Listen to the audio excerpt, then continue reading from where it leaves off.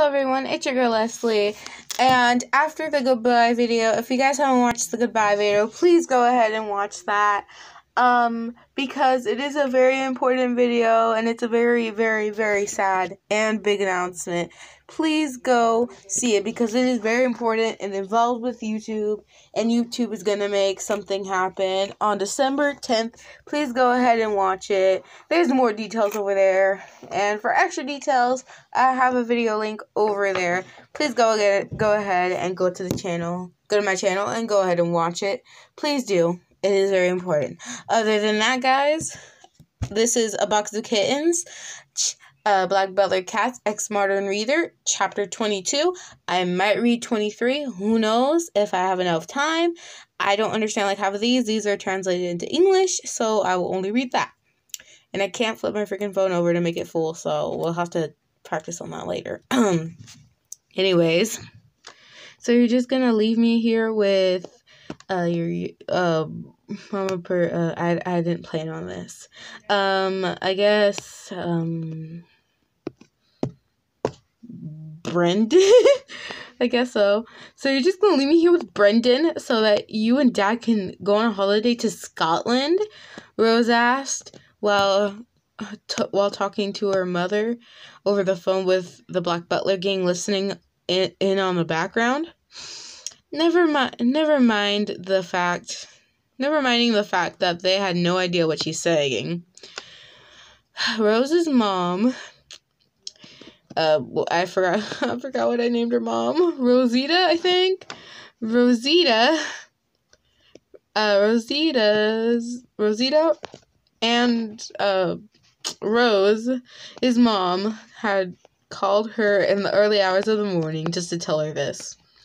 We're not leaving him. He's going to have you, shouted the voice of your dad's, of, of your dad, of your dad in the background.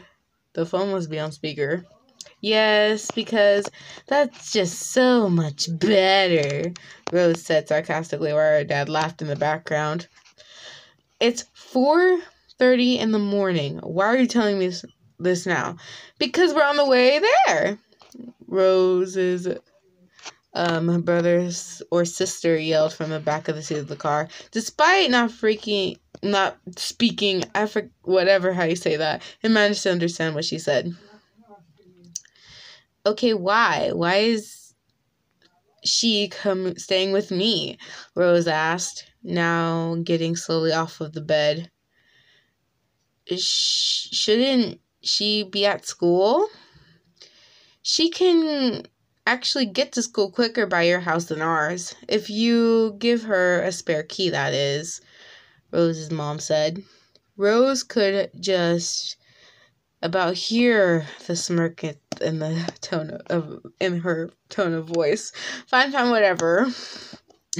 How long is she staying? Rose asked as she sat in the living room, the cats sitting around her on the sofa. Oh, don't worry, we'll have her off of your hands in no time. Rose's mom said cheerfully through the phone. Rose could hear the bustle of the early morning traffic and the steady rumble of the Rosita, I mean, Izquierdo family car. One minute. Sorry, guys, mom, needs me real quick. Anyways, fine, she grumbled, getting up. See you in about an hour. Love you. Love you too. Love.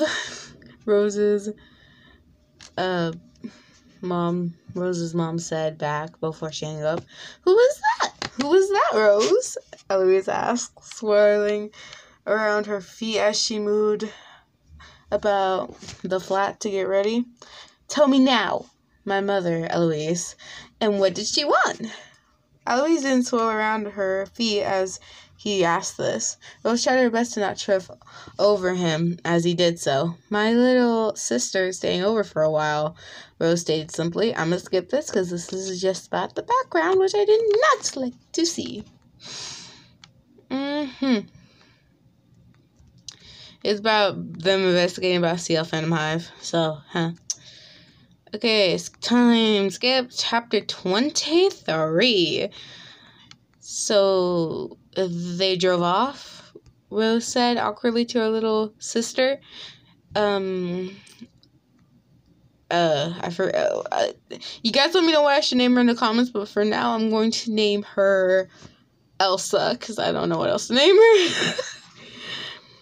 uh, Elsa, as she stood on the doorstep to her flat, um, to her flat, a massive duffel bag filled with a brim with who knows what slung over their shoulder. Yeah. Um, Elsa replied, equally as awkward. You want to come in? Uh, Elsa nodded. Rose stepped back to let her past. Why are you wet? Uh, Rose asked as soon as she saw. I forgot her name. Um, Elsa's hair soaping wet and dripping steadily onto her shoulders, leaving a wet large with wet large pass patches. Eloise wandered out of Rose's bedroom, bound, pouncing on his paws happily until he was dragged back into the room by a gray, almost black snout that belonged to Claude. He fell onto his face and extended his claws, creating claw marks onto the carpet, screeching silently as his, as he went. His claws unhooked themselves from the carpet as he lifted up into the air, dangling the air helplessly from the fur on his neck, which was clamped firmly but in jaws, Claude's jaw. Why won't you let me go, Claude? Eloise huffed, his ears drooping and his face scrunched up in discomfort. Can you put me down now? Claude lowered Eloise onto the onto the ground. We must not be seen. Rose's sister will be suspicious if she saw us. Why is there a red cat? Came the sound of Elsa's voice floating from the living room. Everyone quickly looking around, but Grell was nowhere in sight. That damn idiot. William growled as he quickly darted out of the room, not only seeing Grell posing and showing off his masculine fur. Grell Sutcliff, get back here! The others followed after William, trying to call him back. And there was more of them. Rose kept silent. She didn't even know she didn't even know what to say to her sister, not being even a little bit a little disturbed that the cats could talk, or even the fact that they were all, for some reason, piled on top of Grell, who was yelling something about his fur getting messed up. Instead, she face palmed. This is going to be a long week, Rose thought to herself sighed. I feel so sorry for her. Oh my god. That'd be so freaking funny as heck. So this is Ash's point of view. The um the one that is um the angel, the fallen angel. By the way, that's my mom freaking vacuuming apparently. Even though it's eight freaking thirty two. She's just oof a cleaner. But anywho oof. Yeah. I think he's the one who put them there. So we're gonna read this one because it go- involves the past and the future. Okay. Anyways, continuing. Ash sat perched in a branch of a tall tree facing the Phantomhive Manor. His board game. Sorry for the interruption, guys. I had to help my mom with the carpet. It took me a lot. Oh my god, my freaking hands are. oh my god, they hurt. But anyways, continuing where where I think I stopped on.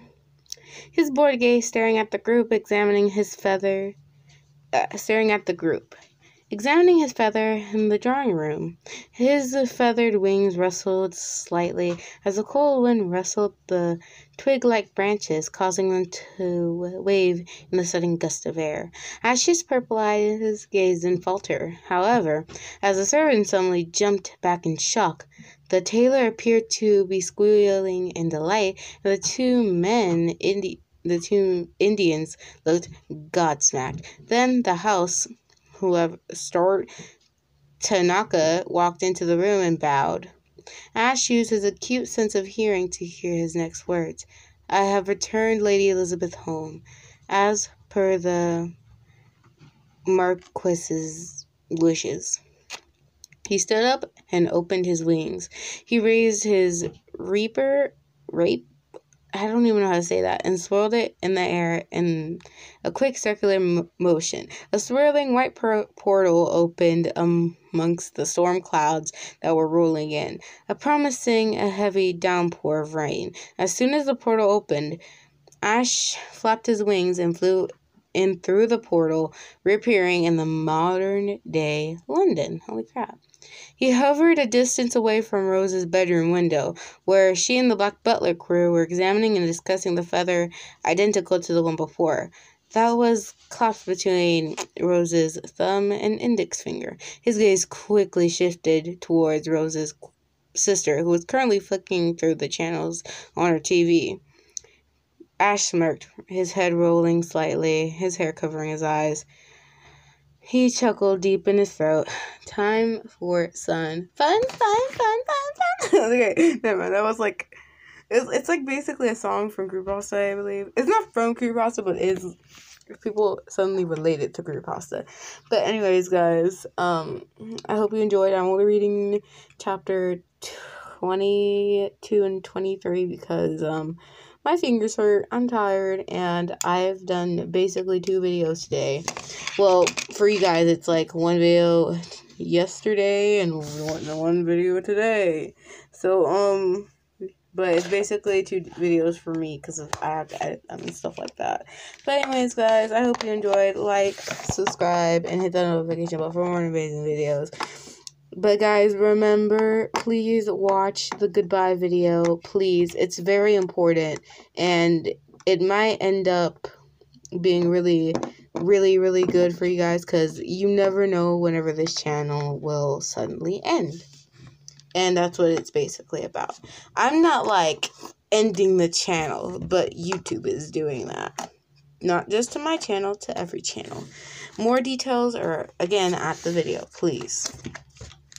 There will be a link in the description. So please, guys, go watch it. Please. I beg of you, please watch it so you will understand what I'm talking about and why I'm very upset at the moment. Not as much, but still upset. Anyways, guys, bye and peace.